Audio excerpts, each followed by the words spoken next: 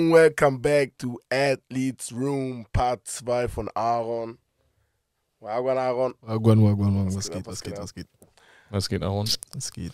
Heute Teil 2. Letzte Woche wart ihr schon dabei. Ähm, ihr durftet schon mal einiges an Einblicken über Aaron erfahren. Äh, war, denke ich, sehr, sehr interessant. Neben Rassismus auch deine ersten Steps im Bereich äh, Profifußball. Und heute wollen wir fortsetzen. Thema äh, Profigeschäft. Und du hattest dein letztes Wort in der, in der Folge im ersten Teil war dein ersten Profivertrag. Yes. Nimm uns doch gerne mal mit. Äh, wie kam das zustande? Du warst ja erst dein zweites Jahr, du hattest zuletzt erzählt, zweites Jahr U19. Ähm, wie ist das alles zustande gekommen? Wann hast du ihn vorgeschlagen bekommen? Allem drum und dran. Ähm, tatsächlich habe ich mir vor dem Jahr gesagt, Aaron, du wirst 19 Jahre alt. Es wird Zeit, ne? Weil ich habe natürlich, du siehst überall. Clock- Welt- Clock is ticking. Ja, ja, 100 Prozent. Time is ticking, Bro. Du, du, musst, du musst den Bag home. You got to get the bag, Bro. Und ich war, ey, hör mal zu, ich muss auf jeden Fall dieses Jahr scoren, scoren, scoren, scoren, scoren. Ich muss auf die Map. Ich muss mir einen Namen machen, damit der Verein weiß, okay, da ist jemand, der will wirklich unbedingt haben. So, und dann habe ich in der U19 gut gescored, die Saison war vorbei. Und nach der Saison, die, eigentlich direkt nach der Saison kam dann HSV damit auf mich zu, hör mal zu, wir sehen dein Potenzial, wir sehen natürlich, dass noch Luft nach oben ist, wir sehen, was du aber schaffen kannst, wenn du am Ball bleibst. Wir möchten mit dir gerne einen Vertrag aufsetzen, so, du sollst deinen ersten Profivertrag unterschreiben. Und ich bin vor Freude durchgedreht. So, ich dachte, oh mein Gott, meine Stadt, ich bin hier groß geworden. Ich spiele seitdem ich denken kann bei diesem Verein. Ich will das unbedingt machen. Mhm. So tatsächlich waren noch andere Angebote da. So, ähm, aber ich meinte, Kannst du, kannst du da über offen sprechen? ja, da war, es waren tatsächlich auch andere Zweitligisten, aber ich glaube, dass ich, ich glaube, das beste Angebot, was für mich damals persönlich war, war Hertha BSC. So, ähm, Hertha BSC wollte mich damals haben für die zweite Mannschaft dann aber, Mhm. ähm, mit halt Ambition nach oben. So, und ich meinte, ja, das kann ich mir sehr, sehr gut vorstellen, aber ich meinte, Hamburg ist halt Hamburg. Ähm, zu dem Zeitpunkt war Christian Tietz auch noch Trainer. So, ich hatte den sowieso in der Jugend. So, warum nicht jetzt? Mhm. So, und dann ähm, habe ich den Profivertrag unterschrieben. Habe dann, ähm, ich glaube, ich habe für drei Jahre unterschrieben. Ich bin mir aber nicht mehr ganz sicher. Ich glaube, drei Jahre ging mein erster Vertrag dann. Und dann bin ich äh, in die Vorbereitung ganz normal gestartet. Und es war halt mein erstes Profijahr. Super nervös. Super nervös. Ich war auch nicht ganz bei mir selbst gefühlt so. Ähm, habe meine Leistung gebracht, so gut ich konnte. Und dann kam am 21. 21.07.2018 ein Vorfall, der mich am meisten geprägt hat, beziehungsweise mich so das Leben hat richtig wertschätzen lassen, weil ich bin dann, ähm, wir sind ins Trainingslager geflogen, die Vorbereitung war mitten am Laufen, die zweite Mannschaft hatte auch eine Vorbereitung und dann kam ich zurück, beziehungsweise wir kamen zurück und dann stand ich auf dem Platz und habe einfach gemerkt, meine Lunge kollabiert. So, ich meine, was passiert hier? Ich habe keine Luft bekommen und ich dachte, nein, das kann nicht sein. Das kann nicht sein. Ich bin hin und her gelaufen beim Aufwärmen, aber zum Glück war es nicht im Spiel. Äh, beim Aufwärmen habe ich gemerkt, ich habe ein richtiges Stechen in der Brust. Mhm. So, und dann, ähm, Aber du wusstest natürlich offensilich nicht, dass es irgendwas Nein. mit Kollabieren nein, und nein, definitiv nicht. Was, was, was waren deine Gedanken, die so durch den Kopf gegangen sind? ich habe mich verschluckt. ich sag ehrlich, ich dachte, Digga, Hast du dann immer gehustet? Ja, ich mach, was kann er, mm, mm, irgendwas, irgendwas stimmt hier nicht, weil das ging nicht weg. Ich meinte die ganze Zeit, hä, das kann doch nicht sein so. Und dann ähm, bin ich zu unserem Trainer gegangen, unser Physiotherapeut war aber zu der Zeit noch drinne. Und ich meinte zu ihm, Trainer, irgendwas stimmt nicht, weil ich kriege nicht wirklich Luft. Ich weiß nicht, ob ich mich verschluckt habe. Vielleicht bin ich auch gerade ein bisschen am Spinnen. Ich habe dann Wasser getrunken, so viel ich konnte. Und dann war es tatsächlich sogar direkt besser. Und dann kam es nach 30 Sekunden übertrieben doll wieder. So, und dann kam unser Physiotherapeut, hat mich eingerenkt, hat alles mögliche probiert und meinte, ja, probier noch mal hier rumzulaufen. Und dann war ich an der Seitenlinie, bin hin und her gelaufen und meinte dann zu ihm, ähm, ja, geht nicht. So, das Stechen hört nicht auf und es wird immer doller und doller. Und dann meinte er, ja, komm rein, äh, wir gehen rein und dann müssen wir vielleicht einen Krankenwagen rufen. Weil so wie es sich gerade verhält, sind wahrscheinlich Lungenbläschen bei dir geplatzt. Und ich meinte zu ihm, wie kommst du darauf? Er sagte, ja, ich bin erst früher äh, Rettungswagen mitgefahren Mhm. und hat halt so ein bisschen vermutet, dass es das sein kann. Und dann sind wir reingegangen. Ich habe mich auf die Liege gelegt. Er hat direkt eine Infusion an meinen Arm gelegt und meinte, ich rufe jetzt einen Krankenwagen. Und dann kam der Krankenwagen an.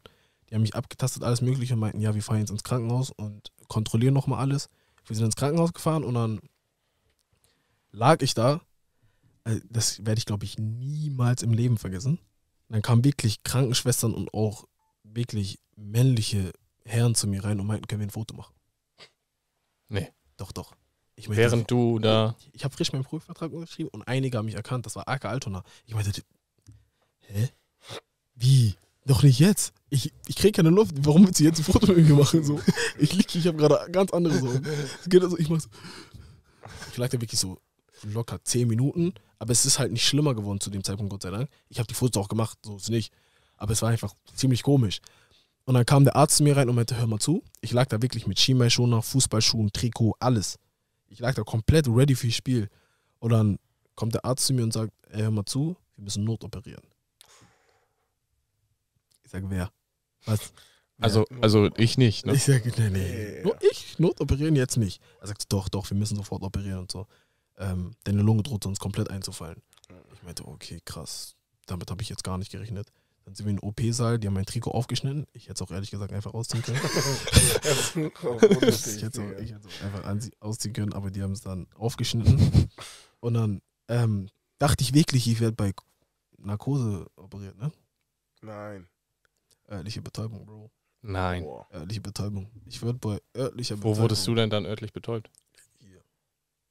Genau hier an meinen Rippen. Wow. Und dann meinten Boah. die, ja, ähm, ich weiß nicht, ob du es sehen willst. Wir können dir auch einen Vorgang, äh, Vorhang hervorziehen, damit du nichts siehst, aber wir müssen jetzt rein und so schnell. Die mussten so eine Drainage ansetzen, die dann das Blut aus meinem, aus meiner Lunge sozusagen rauspumpt, weil da ist Blut reingelaufen. Ich meinte, äh, das geht mich alles viel zu schnell. Mhm. Mhm. Dann meinte ich, ja, ja, macht einfach so schnell ihr könnt. Und dann haben die es betäubt.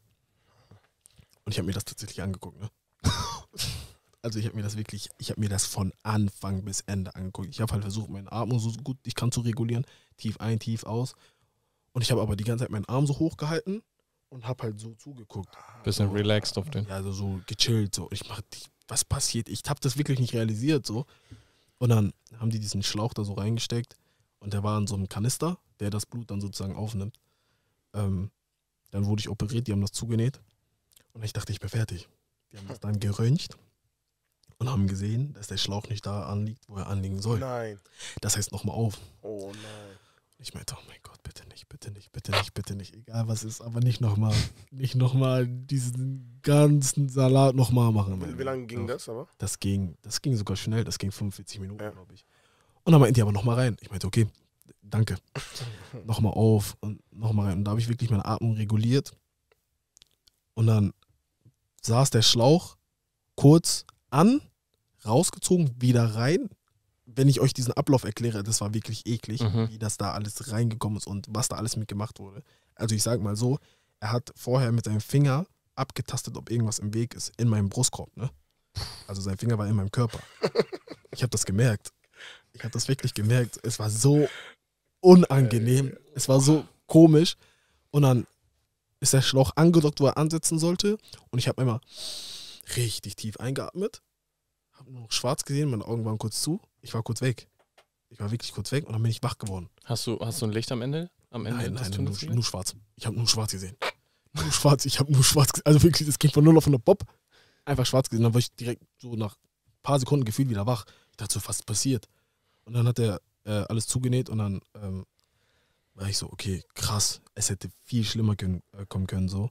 Gott sei Dank ist dann alles auch gut verheilt und so und ist gut verlaufen, die ganze OP. Und dann ähm, habe ich irgendwann langsam angefangen wieder mit Sport, mit Fahrradfahren, ähm, Atemübungen. Atemübungen kann ich keinen empfehlen, sage ich ehrlich, das macht gar keinen Spaß. das macht gar, das macht Also machst du auch keine Meditation Nee, oder? Doch, Meditation und so schon, definitiv. Aber diese Atemübung, ich habe mich vor, ich kam mir vor wie so ein Idiot, Ja, so, weißt du, weil ich, ich stehe da, jemand guckt mir zu, wie ich atme. Mhm. So, ich dachte, das ist, das ist so komisch, aber ich meine, ich mache alles dafür, dass es wieder so wird, wie es vorher war. Mhm. Dann ähm, habe ich irgendwann, ich glaube nach drei oder vier Monaten, das Glück gehabt, dass ich dann wieder trainieren konnte und auch wieder spielen konnte. Habe dann in der zweiten Mannschaft von Hamburg gespielt, ähm, regelmäßig Profis trainiert und dann kam irgendwann die Winterpause und da war, glaube ich, ähm, ich bin mir nicht sicher, aber ich glaube, Ralf Becker war da Vorstandsvorsitzender oder Sportchef, eins von beiden. Kann ich glaube, der ist jetzt bei Dresden oder so. Bin Ja, der ist bei Dresden. so, und dann ähm, war er der Meinung, okay, so, du hast es jetzt nochmal bewiesen, dass du es kannst und so. Wir nehmen dich wieder hoch zu den Profis. Und dann ähm, habe ich die ganze Wintervorbereitung bei den Profis gemacht und damals war Trainer Hannes Wolf, der ist jetzt, ich glaube, U18-Nationaltrainer. Mhm. Ähm, War früher, glaube ich, auch Stuttgart-Trainer. ja, genau, genau. Und dann ähm, habe ich bei dem die ganze Rückrunde trainiert, aber habe halt keinen Einsatz bekommen. Und Hamburg wollte halt unbedingt hoch so. Und er ist dann nach dem Jahr auch entlassen worden. Für mich persönlich war es aber in meiner Entwicklung brutal gut, einfach auf dem Niveau die ganze Zeit zu trainieren. Auch wenn du nicht spielst, du wünschst dir halt unbedingt, dass du spielst, aber ähm, es ist leider nicht dazu gekommen. Und dann kam im Sommer Hacking. Und dann war mir auch schon klar, okay, er wird auf jeden Fall einige Spieler holen und ähm, es wird alles dafür getan, dass Hamburg direkt wieder aufsteigt. So, und dann ähm, habe ich mich dazu entschieden, dass ich jetzt zu Rostock gehe. So, und dann kam Rostock sozusagen mein erstes Profijahr offiziell, wo ich auch gespielt habe. Da war Hansa Rostock auch schon in der dritten. Ja, da war Hansa Rostock noch in der dritten Liga. Ähm, und dann war die Vorbereitung ganz gut. Es war unfassbar heiß. Es war, es war, es war unglaublich heiß. Ich kann, kann, kann das nicht in Worte fassen. Ich weiß noch ganz genau, wir haben in der Vorbereitung einen Lauf gemacht. Zehn Kilometer. So schnell du kannst. Ich glaube, ich bin 39 irgendwas gelaufen. Also es, es gab noch Leute, die sind bei mir 36 gelaufen, wo ich mir dachte, Bruder, wie? Wie machst du das? Hisso, was denkst du? 10 Kilometer Lauf? Easy, ne? So 28 bei mir. Guten Tag, 28, 29, so, auf locker. Auf locker. Aber wenn nicht zu warm ist. Verstehst du? Wenn warm ist, ist hast Es war super heiß. Crazy. Es war super heiß. Ich meinte, ach, weißt du was? So, und dann ähm, kam das erste Saisonspiel gegen Viktoria Köln. Und ähm, die Saison wäre nicht so gelaufen, wie sie gelaufen ist, wenn sich nicht leider Gottes einer aus unserer Mannschaft verletzt hätte, weil ich hätte wahrscheinlich nicht von Anfang an gespielt, habe dann aber das Glück bekommen, dass ich direkt reingerutscht bin. Und habe ich im ersten Spiel eins vorbereitet und eins gemacht. Und das erste Tor wurde tatsächlich auch Tor des Monats. Ich glaube, ich erinnere mich. Das Hakentor. Welches war das? Das Hackentor, wo der Ball so von rechts außen reinkommt und ich drehe mich so ein Spiel den Ball mit der Hacke rein. Also, Bei Sportstudio oder so war das. genau. Ich habe mein erstes Spiel, erstes Tor gemacht, ersten Profiminuten gesammelt. Das war zwar das anstrengendste Spiel, was ich in meinem Leben gespielt habe. Also es war heiß und ich konnte einfach nicht mehr, weil das Tempo war nochmal eine ganz andere Schippe als natürlich Regionalliga. Aber es war so ein geiles Gefühl. So, ähm, ich konnte das nicht mal in Worte fassen. Es hat einfach unfassbar Wie ist, Spaß wie ist das gemacht. Ostseestadion so für dich? unfassbar. Also die Stimmung da war jedes Mal unglaublich. Die Fans sind am Ausrasten. So, in dem Spiel hast du gemerkt nochmal so, okay, das Stadion ist auf jeden Fall da. Wir haben es aber ein bisschen verkackt, weil wir haben noch 3-3 gespielt. Wir haben 3 wir haben 3-1 geführt oder sogar 3-0, ich bin mir nicht sicher. Haben dann eine gute Saison gespielt. Ich habe in dem Jahr dann fünf Tore geschossen und sechs ähm, Assists gemacht und dann kam Corona. Irgendwann zum Start, beziehungsweise mitten in der Rückrunde kam Mhm. Corona, dann haben wir nur noch vor leeren Rängen gespielt. Das Ostseestadion Mhm. durfte nicht mehr ausgefüllt werden und so. Und das hat so bisschen auch Kraft gekostet, sagen wir mal so. Ähm, also es hat schon sehr, sehr, sehr, sehr, sehr, sehr genervt. Wir waren auch tatsächlich eine lange Zeit zu Hause. Ich glaube, sechs Wochen oder so haben wir gar keinen Sport gemacht, beziehungsweise keinen Fußball gespielt. Das ist für Fußballprofis eine sehr lange Zeit. Wie lange ist normalerweise Sommerpause? Vier Wochen. Maximal, vier oder? Wochen, fünf Wochen so. Und dann ähm, kam ich auch nach, auch nach der Corona-Zwangspause zurück. Nach dem ersten Training dachte ich, ich kann kein Fußball mehr spielen. es war. Da war wieder wie U19. Ja, ja, ich dachte, was, was passiert denn hier? Das kann doch nicht sein. Ich bin wirklich drei, dreimal hin und her gelaufen und war kaputt. Also wirklich kaputt, kaputt, dass ich dachte, ich bin müde. Ich, oh mein Gott, was passiert hier? Das ist viel zu schnell und so für mich. So, ich habe mich dann nach einem Tag direkt wieder eingegroovt und so. Wir haben halt vor leeren, äh, leeren Rängen gespielt. Und dann kam, ich glaube, vor der Corona-Pause sogar schon Hamburg auf mich zu. Ja, hör mal zu, wir erkennen dein Potenzial, wir würden gerne den Vertrag mit dir verlängern. Und dann wurde mir ein Vertrag angeboten, vier Jahre in Hamburg. Und ich dachte mir, oh mein Gott, Jackpot. oh mein Gott, was willst du mehr? Ich hatte natürlich auch andere Angebote vorliegen, so, aber es war halt nicht ähm, zweite Liga. Und ich bin sowieso bei Hamburg so. Ich bin jetzt hier noch das Jahr über und dann gehe ich nach Hamburg zurück und zersäge alles, was kommt. So, ähm, Hacking hat mich auch persönlich nochmal angerufen, hat gesagt, ich will dich auf jeden Fall im Sommer zurückhaben, weil er natürlich davon ausging, dass er im Sommer seinen Job behalten wird und alles. Mhm. Ähm, und dann war die Saison vor, äh, vorbei. Ich habe nochmal gut gescored zum Ende hin. Ähm, und dann kam die Vorbereitung in Hamburg, beziehungsweise dann kam in Hamburg der neue Trainer Dani Thune, der jetzt bei Düsseldorf ist. Mhm. So, ähm, ich habe die Vorbereitung dann gespielt. Genau, aber- wichtig, wichtig vielleicht zu erwähnen, dass äh, Hacking dann seinen Job nicht behalten hatte, Ja. weil sie nicht aufgestiegen waren. Ja, ja. Und dann ähm, kam Tune und ich war dann der Meinung, okay, ich werde mich unter ihm auf jeden Fall probieren durchzusetzen.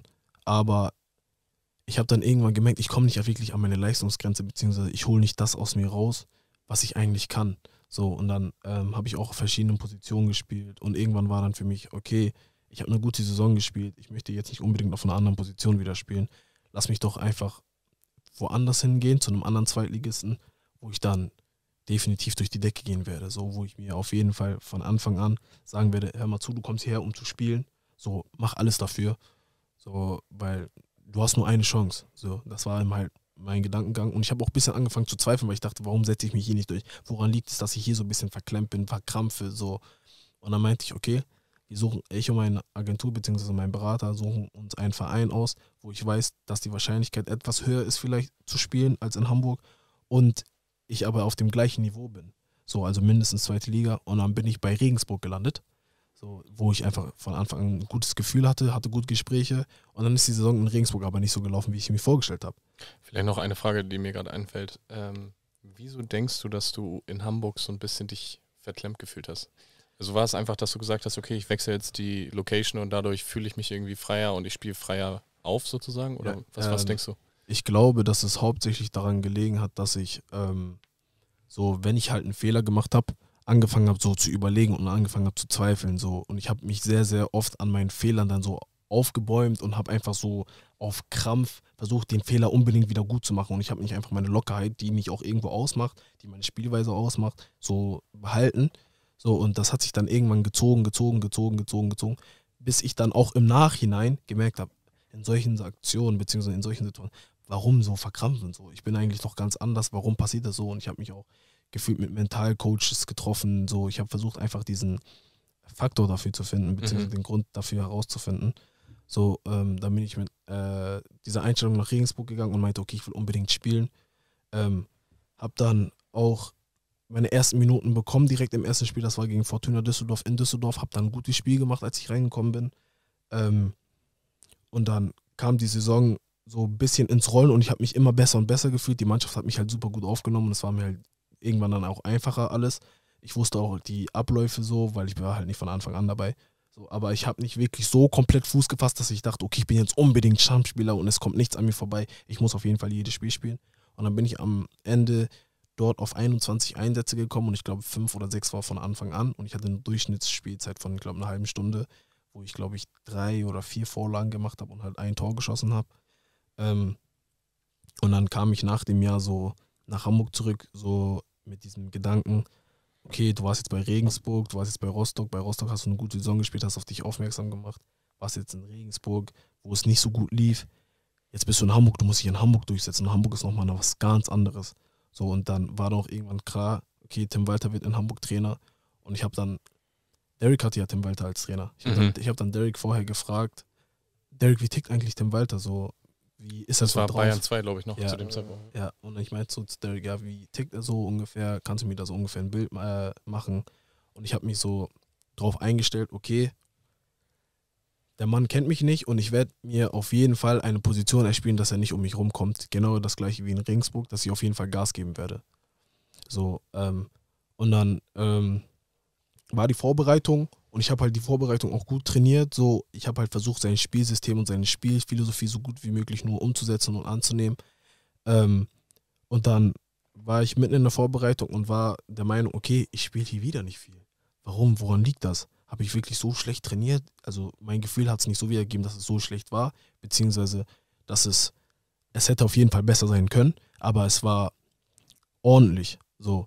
Aber ich bin der Meinung, dass wenn du von irgendwo kommst, wo du sowieso nicht so viel gespielt hast, dass wenn du spielen willst, dich unbedingt aufdringen musst und gefühlt dich unverzichtbar spielen äh, äh, zum Spieler machen musst, der unverzichtbar ist.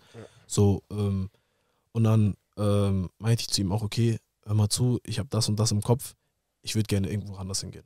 So. Er meinte, ja, verstehe ich. Aber ich weiß halt nicht, ob du in die dritte Liga sollst. Ich habe ihm halt gesagt, von wo die Angebote im Moment so eintrudeln und so. Und tatsächlich war dann auch mein erster Gedankengang, okay, ich gehe auch nach Holland. So, weil mit meinem Spielstil passe ich definitiv nach Mhm. Holland. So. Und dann kam aber Osnabrück, der Trainer und der Vorstand zu mir nach Hamburg. So, die haben mir ein Trikot mitgebracht. Wow. Die meinten, hier, hör mal zu, du kriegst bei uns die sieben, wir wollen das und das und das, wir wollen das und das und das und wir wollen die Art vom Fußball. So. Und dann meinte ich, ähm, ja, was machen wir jetzt? Da meinte Walter zu mir, ja, ich kann mir das schon vorstellen, aber ich würde halt auch präferieren, dass du nach Holland gehst, weil dann ist äh, ist noch mal eine erste Liga, ist noch mal vielleicht ein anderes Niveau Und ich glaube, du kannst dich da definitiv besser weiterentwickeln. Und ich meinte, ja, ich verstehe diesen Gedankengang definitiv, aber ich würde gerne nach Osnabrück gehen, weil ich einfach das Ding, was die da aufbauen wollen, mitreißen will. So. Und dann habe ich mich dazu entschieden, zu Osnabrück zu gehen. Wollte aber vielleicht sogar noch zu Rostock, aber Rostock hat abgelehnt. Mhm. Bin dann in Osnabrück gewesen, auf dem Parkplatz und dann klingelt mein Handy. Ich mache, ich gucke auf mein Handy, irgendeine Nummer, ich meinte, ich gehe nicht ran, weil ich war kurz vor Unterschrift. Und dann wird mein Berater angerufen, mit dem ich dorthin gefahren bin. Rostock, komm jetzt. Was machst du dann? Es sind tausend Gedanken in meinem Mhm. Kopf vorgegangen und ich habe dann das gemacht, was ich dann immer in solchen Situationen mache. Ich habe meinen Vater angerufen. Papa, was soll ich machen? Ich habe keine Ahnung, weil ich will irgendwie auch zweite Liga spielen, aber Osnabrück klingt sehr, sehr spannend und ich habe den auch eigentlich schon zugesagt. So, und dann habe ich in Osnabrück unterschrieben, weil er meinte, bleib in Osnabrück, vertrau mir, du wirst da deinen Weg gehen, du wirst dein Ding machen.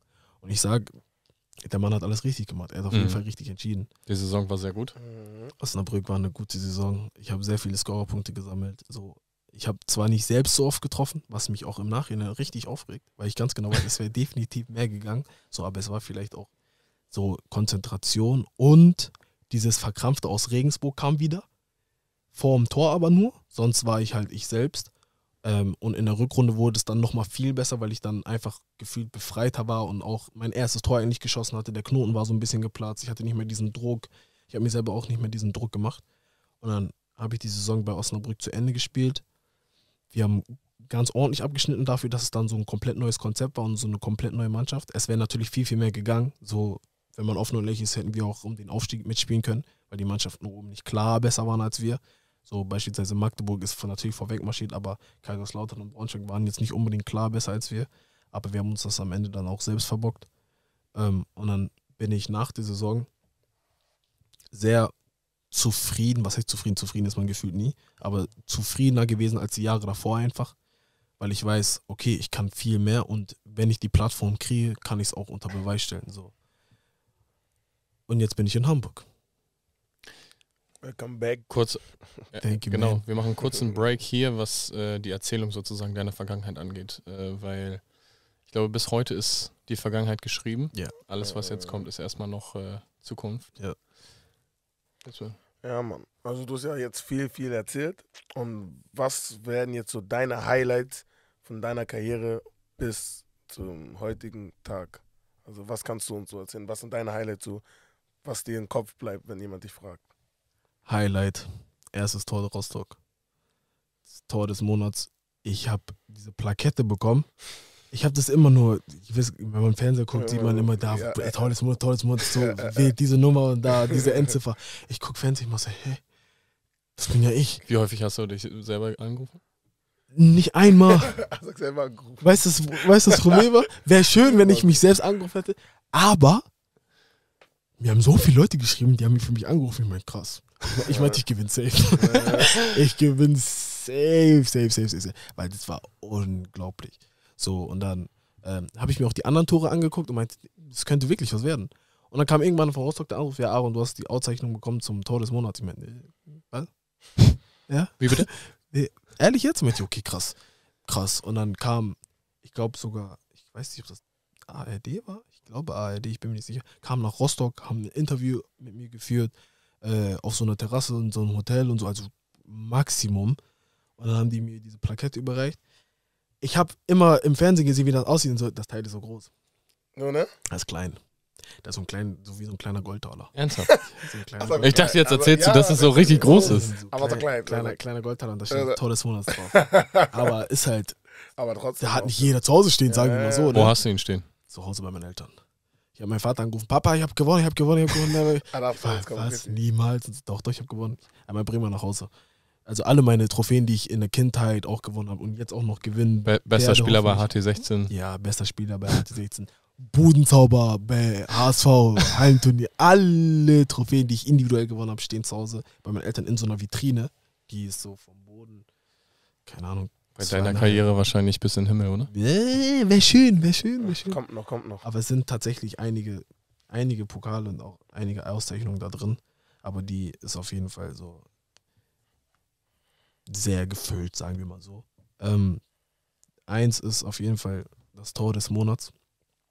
Ähm, zwei muss ich sagen. Mein erstes Spiel bei Osnabrück. Mein erstes Spiel bei Osnabrück. Ich wusste nichts, ne? Ich kam an einem Samstag an, Sonntag in einem Hotel äh, gepennt, trainiert, Montag Spiel. Der Trainer hat mich vorher gefragt, was sollen wir machen und so, willst du von Anfang an spielen, beziehungsweise. Aber ich- war das direkt Ligaspiel oder? Ja. So richtig reinschmeißen und so. Und dann sitzen wir bei der Besprechung und ich gucke so. Ich sehe so vorne links, ich sehe so meinen Namen.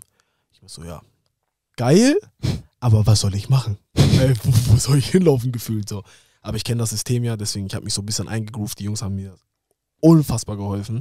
So, und dann meinte ich, ja, let's go. So, wir haben das Spiel dann 2-1 gewonnen. Ich habe beide Tore eingeleitet. So, das war Highlight Nummer zwei. Und Highlight Nummer drei. Highlight Nummer drei ist schwer, ja. Sage ich offen und ehrlich. Wenn du keins auf, auf die Sprünge hast, ist auch kein Mein Problem. erstes Zweitligator bei Regensburg. Auch gut immer. Ja, mein erstes Zweitligator bei Regensburg. Kannst du dich noch daran erinnern? Also, Ja, was für ein 100 Tor das war? Prozent. Das war der kälteste Tag meines Ah, zu heiß, zu Ja. kalt, Bruder. Ey, nein, nein, Aber nein. das brennt sich bei dir ja so in der ja, Seele. äh, äh, Weißt du, wie kalt mir war? Und es, es war gegen Osnabrück. Es war gegen Osnabrück. Wir lagen, ich glaube, 3-1 hinten oder so. Oder 4-1.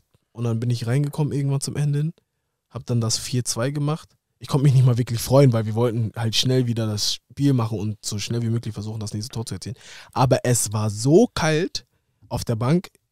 Das war wirklich mit Abstand, also ohne zu übertreiben, das war der kälteste Tag in Regensburg für mich.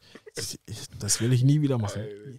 Regensburg ist so kalt, wenn es wirklich kalter ist. Das weiß jeder, der bei Regensburg gespielt hat, jeder, der in Regensburg wohnt. Und es ist extrem viel Nebel. Extrem viel Nebel im Stadion, weil du direkt an der Donau bist.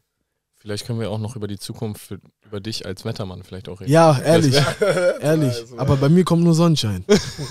nur Sonnenschein. Nicht zu heiß. Sunny, Sunny Boy. Ja. Ja, vielleicht können wir da noch kurz einmal anknüpfen. Äh, Thema Nickname. Also du bist ja etwas bekannt, ich weiß nicht, ob alle das wissen, unter dem Nickname Juiceman. Yes, sir. Yes, sir. Yes, sir. Yes, sir. Tell us, tell us a little bit. Ähm, wie ist Juice zustande gekommen? Eigentlich ganz einfach. Ich war bei Rostock und es war Vorbereitung. Und wir hatten bei uns in der Kabine einen Juice.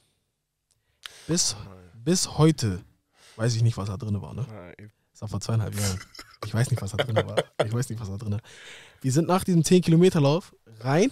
Ich habe diesen Juice, ich habe den so abgezapft, ich habe den getrunken, ich guck's, ich mach so, wow. Ich meinte, wow, was ist das? Ich habe jeden gefragt, was keiner konnte mir das Gefühl beantworten oder wollte es mir einfach nicht beantworten. Ähm, und dann meinte irgendjemand, ich habe einen Snap gemacht. Ich habe einen Snap gemacht und jemand meinte zu mir, du trinkst diesen Juice schon ziemlich oft, ne? Meinte ich, warum? Weil ich dir jetzt ein paar Snaps geschickt habe, wo ich diesen Juice trinke. Meinte, ja, Juice, Juice, Juice, Juice Man, Juice Man, Juice Man. Meinte ich, okay. Er meinte, ich kann das so mit deiner Fußballspielweise verbinden. Meinte ich, krass, ja, man, stimmt. Ja, wo Mann. du sagst. Ja, Mann. ja, man, stimmt. So. Boah, alles, was du machst, musst du mit Juice machen, Bro. Immer. So, das war dann irgendwann so, hat sich das eingegroovt. Und tatsächlich ist es dann so geworden, dann kam Christian ja irgendwann mit Samba Boy. Mhm. Da haben wir auch schon die Erklärung zu So, bekommen. und da war Samba Boy und Juice Man. Ja, Mann. Diese zwei Namen, das wären auf jeden Fall Würdest unsere du, Namen. würdest du behaupten, Juice bedeutet eigentlich so für dich Spaß daran Ja, zu haben? Also definitiv. das ist ja eigentlich. Definitiv. Es ist nicht wegen diesem Saft, aber durch diesen Satz ist, Saft ist es auch ein bisschen zustande Mhm. gekommen. Dann habe ich auch zu Christian gesagt, Christian, wir nennen uns Samba Boy und Juice Man. Und dann war auch in unserer Insta-Biografie Aaron, äh, Anführungszeichen, Juice Man, Anführungszeichen, Opoku. Und ich glaube, das habe ich jetzt abgekürzt durch Juice. So, und ich habe mir tatsächlich Juice Man auf meine rechte Wade tätowiert. Oh. Juice Man, die Nummer 11 und diesen tanzenden Emoji von WhatsApp. Okay, Das wäre jetzt meine, meine letzte Frage zu dem Thema gewesen. Welcher Emoji zeigt es am besten? Weil zum Beispiel, wenn ich einen im Kopf habe, einer meiner Favorites, ist immer dieser Apfelsaft in so einem Ich weiß Tetrapack-Emoji, genau, dieser welcher. grüne. Ja, ja, ich weiß Wenn genau. ich irgendwas welcher. juicy sage, Ich dann mache genau, ich nämlich welcher. immer den. Ja. Und du hast aber den Tanzen. Ich habe den tanzenden Emoji und es gibt doch auch noch so einen Cocktail. Dieser Cocktail, ja. so, so ein Aber Orangener, ne? Genau, Cocktail, ja, Cocktail, dieser ja. Cocktail, dieser Cocktail, ja. Ich nehme, also wenn ich immer was nehme, dann nehme ich diesen Cocktail, den tanzenden Emoji und einen Fußball, Mhm. weil ich das damit einfach am meisten in Verbindung bringe. Ja, und so ist Juice Man zustande gekommen.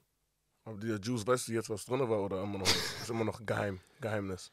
Secret Man. Also Secret. falls Yo. du bis dahin vielleicht deine Meinung änderst, äh, könnt ihr sonst auch in der, in der Bio von der Folge das Rezept finden. Ja, ja. Wir machen eine eigene Marke. Jupp. Jo. Jupp. Ju- Juice Man. Juice. Oh, Wäre schon, wär schon nicht schlecht, Ja, ja. verstehst du? Ja, Alright, so. äh, wir gehen schon krass auf die Zielgerade zu. Ähm, ich würde sonst noch mal kurz ein, eine externe Frage mit reinbringen und mal sehen, ob du anhand der Stimme heraushörst. Ich erkenne alle Stimmen. 100 Prozent. Ich bin gespannt. Lass es mich wissen. Easy, auf den steht deine Zukunft auf den schon fest. Und ähm, was hat No Cap für dich auf den zu bedeuten auf den? Direkt zwei Fragen auf einmal. Und jetzt erste Frage. Wer ist es? John aka My Twin Man. My, my Twin. My Twin, My Twin. Und kannst du auch noch den Nachnamen bitte einmal mit reinhauen? John Yeboah. John Yeboah aka My Twin aka The Tiny Guy. The Tiny Guy. Aber mag er das so, genannt zu werden? Nein. The, ti the nein, Tiny nein, Guy? Nein, nein, nein. Entweder John, John ganz einfach, Twin oder OBJ. Yeah, OBJ. Frag nicht warum OBJ, ich habe selber keine Okay. Ahnung. Er hat sich irgendwann selber so weird genannt. so. Er hat sich selber Wenn man sich selber so nennt. Ja, ja, einfach, Obi, einfach Fußball OBJ. und Football, das ist was ganz anderes. Das ist auf den so ein bisschen, wenn, wenn History sich jetzt plötzlich Steph Curry nennt. Ja, ja, genau so, genau so. Das Ding ist aber, so Fußball und Football, ist, ich finde, find, das hängt so, das passt so alles zusammen, weil Celebrations beim Touchdown, Mhm. Jungs, Ja, selber, ja, da, ja, ja. da passiert alles Mögliche. Ja. So, Aber History muss noch ein bisschen von dir lernen, glaube ich. Brauch ein bisschen Juice. ja, ja, fertig, fertig, fertig. Okay, lass uns, bevor wir jetzt auf der Zielgerade sind, kurz die Frage. Oh, meine Zukunft steht tatsächlich noch nicht fest. Also ich sag mal so, ich werde auf jeden Fall, Bis- soweit Bis ich wann weiß, hast du Vertrag? bis 24 in Hamburg. Mhm. So, soweit ich weiß, werde ich auf jeden Fall in Hamburg meine Vorbereitung starten. Und ähm, es waren jetzt einige Angebote, die für mich auch wirklich interessant klangen. So im Umlauf und ich war mir nicht sicher, was ich machen soll. Soll ich dahin, soll ich dahin, soll ich dahin? Lässt mich Hamburg überhaupt gehen? Sagt Hamburg zu mir, ey Junge, bleib auf jeden Fall hier. So, meine Zukunft ist da ein bisschen offen, beziehungsweise mein Berater ist so im Austausch mit Hamburg und ich versuche halt alle möglichen Informationen jetzt ähm, zu fressen und auch aufzunehmen.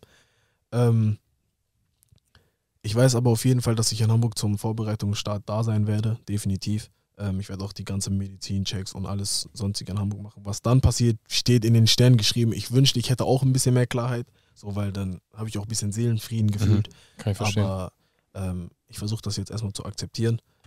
Ich, ich kann mir vorstellen, dass, äh, wenn die Folge schon draußen ist, wir mehr Informationen haben. Definitiv. Und äh, vielleicht wird es dann noch ein kleines Update geben. Ja, ja, 100 Prozent. Sendest du noch eine kleine Videobotschaft Ja, ja, safe Thing. an Athletes Room? Safe Ding. Also, vielleicht ist es ein anderer Verein, vielleicht ist es Hamburg so. Ich weiß es einfach noch nicht zu 100 Prozent. Eine Sache, denke ich, steht fest. Wir wünschen dir nur das Beste. Dankeschön. Vor allem, dass du gesund bleibst. Das ist das Wichtigste. Weil ich glaube, da, ähm, das war einer der größten Struggles, die du bisher 100 Prozent. hattest. Immer Verletzungen und wirklich komische Verletzungen. Richtig auch. komisch, ja. Richtig, richtig komisch. Die, ich glaube, der Fachbegriff für die Verletzung mit der Lunge, die ich hatte, Mhm. Spannungspneumothorax. Wie bitte? Genau. Genau das habe ich auch gesagt. Ich meine, wer, wer ist das? Spannungs? Pneumothorax. Das spreche ich jetzt lieber nicht aus. Ich meine auch, so, äh, das ist krass. Das ist wirklich krass. Ich meine, ja, aber ist nun mal so, ne? Ähm, aber ja, Zukunft ist auf jeden Fall, auf jeden Fall gesund bleiben, das Aller, Allerwichtigste. Sehr So, gut. Gesund bleiben, meinen Eltern soll es gut gehen und äh, fertig. Deswegen ist was für mich crazy ist, ist immer von außen betrachtet, denke ich immer, ja, man, er spielt einfach Fußball, also er gibt Gas, er trainiert.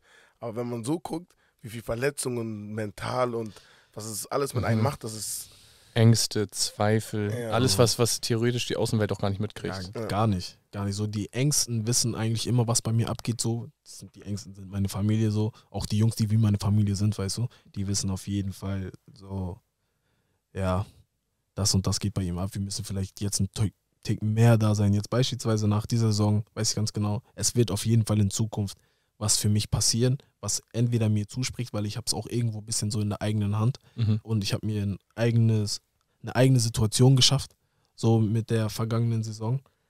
Aber es gab halt auch schlechte Tage, so schlimme Tage. Ich war zehn, auch mit der Lunge beispielsweise, ich war zehn Tage im Krankenhaus.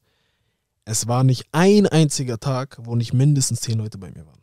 Es war, Spricht ja für dich und dein, ja, Deine Persönlichkeit. definitiv pausenlos waren Leute bei mir. Ich habe, glaube ich, noch nie in meinem Leben Oder gegessen. weil alle nur Fotos machen wollten. Kann auch sein. Das weißt, kann auch sein. Weißt du, wie viel ich gegessen habe im Hotel? Äh, Hotel, im Hotel, Krankenzimmer. war wie Hotel. Ja, äh, ohne zu übertreiben, es war wie ein Hotel. Also ohne zu übertreiben. Ich hatte Ich war im AK Altona und das Partnerkrankenhaus, beziehungsweise das Krankenhaus, womit der HSV zusammenarbeitet, ist ja das UK äh, Eppendorf. Und dann bin ich dahin, beziehungsweise habe mich dorthin verlegen lassen. Und ich habe ein Einzelzimmer bekommen. Meine damalige Berateragentur hat mir einen Fernseher gebracht. Mir wurde meine Playstation aufs Zimmer gebracht. Ich hatte WLAN, weil ich sehr gutes Internet hatte. Damit du wieder für FIFA auch trainieren konntest. Nein. Fortnite. Das war die Fortnite. Zeit, oder was? Fortnite war die Zeit. Und ich hatte locker zwölf Mahlzeiten am Tag. Locker. Das ist Wahnsinn. Also es war sehr, sehr Hast du aber krass. zugenommen oder bist du einfach dein Körper Crazy zugenommen. Ja, ne? Er hat aufgebaut. Hast du mal seine Arme gesehen? Crazy Ja, zugenommen. ja ich habe mich auch gewundert. Auf einmal tragen die Sehr, alle sehr stramm. Basketball-Trikots und so, ne? Crazy zugenommen. So, wichtigste Sache zuletzt. Unser Podcast ist vor allem ein Projekt, Yes. um natürlich dem Spieler, den Athlet, eine Plattform zu geben, um Ja. einfach auch mal ein bisschen mehr über dich zu erfahren. Ja. Was uns aber auch extrem wichtig ist, ist, was man grundsätzlich den Zuhörern auch mitgeben kann. Also vor allem auch die Persönlichkeiten, die jetzt vielleicht erst auf dem Weg dahin sind, etwas professionell zu machen oder vielleicht auch nicht professionell. Mhm. Und deswegen ist es für uns wichtig, welche Message kannst du an die anderen Athletes da draußen, sowohl weiblich als auch männlich, mitgeben? Ähm, ich denke, du hast schon sehr, sehr viel erlebt. Thema Rassismus, klar, äh, die Struggles auf, der, auf dem Weg zum, zum Fußballprofi. Jetzt nochmal deine Bühne. Ich habe sogar tatsächlich deswegen eine Erinnerung auf dem Handy. Ne? Ich habe jeden Morgen um 8 Uhr kommt auf mein Handy Hustle and stay strong-minded. Egal was du machst, egal was du tust. Vor allem geht sowieso die Gesundheit. Mhm. Pass auf, dass du immer gesund bleibst und dass du dich dementsprechend verhältst, dass du auch wirklich auf langfristige Sicht gesund bleibst, dass es den Ängsten um dich rum super geht. Worauf du am besten Einfluss hast, das beeinflusst du so gut du kannst. Und wenn du beziehungsweise was erreichen willst, dann krieg deinen Po hoch und tu was dafür. Weil, vertrau mir, am Ende des Tages, egal wie hart du arbeitest, egal wie oft du daran denkst, ey, ich habe keine Kraft mehr, ich habe keinen Bock mehr, es wird sich alles auszahlen. Selbst wenn du nur einen Millimeter nach vorne kommst, du bist nach vorne gekommen. Mhm. Aber das So. wirst du wahrscheinlich in dem Moment nicht verstehen, So, sondern erst. definitiv nicht, definitiv. Du wirst denken, warum mache ich das Mhm. überhaupt? So, es war bei mir genauso. Ich dachte, warum spiele ich überhaupt noch? Ich, hab, ich erreiche das doch eh niemals, ich will Mhm. das doch eh niemals. Mega. Egal was ist, immer am Ball bleiben, immer fokussiert bleiben, wenn du etwas durchziehen willst. Aber vor allem stell deine Gesundheit immer in den Vordergrund. Definitiv. Mega. Ich glaube, das können wir so unterstreichen. Auf jeden So. Fall. Äh, genau, vielen, vielen Dank. Äh, am Ende noch ein kleines Shoutout auch in deiner eigenen Sache. Äh, Thema, was du noch in der Freizeit machst. Willst du da Ähm, ganz, ganz kurz noch was zu erzählen? Kurzes Shoutout an mich selbst. Ähm, kurzes Shoutout an mich selbst. Falls ihr Bock habt, könnt ihr meinen Twitch-Stream, der jetzt auch in Zukunft auf jeden Fall regel, regelmäßiger sein wird, verfolgen. Auf Twitch heiße ich genau wie auf Instagram Long Life Opoku. So, frag nicht, warum Long Life Opoku. Keine Fragen, ist einfach Long so. Life and the Easy One. Yes, Long Life Opoku, aka Juice, aka OPK. Ich habe viele Namen, es sind ein paar Namen, so. Aber könnt ihr auf jeden Fall verfolgen. Ich, ich stream verschiedene Spiele und manchmal werde ich auch einfach nur rumlabern. Also ihr seid herzlich Perfekt. willkommen. Ja, Mann. Geil. Aaron, Digga. vielen, vielen Dank. Es war ein Gedicht. Es war ein Gedicht. Es war ein Gedicht, hat mich gefreut. Leute, das war's mit Athletes Room. Auf jeden Fall nicht vergessen, fünf Sterne. Yes, sir. Schreibt uns gerne Key. bei Insta, wen ihr hier sehen wollt. Yes. Genau. Und ja, Mann. Hast du noch was zu sagen, Markus? Eigentlich nicht. Wir hören uns beim nächsten Mal. See you. Tschüss. Tschüss. Tschüss.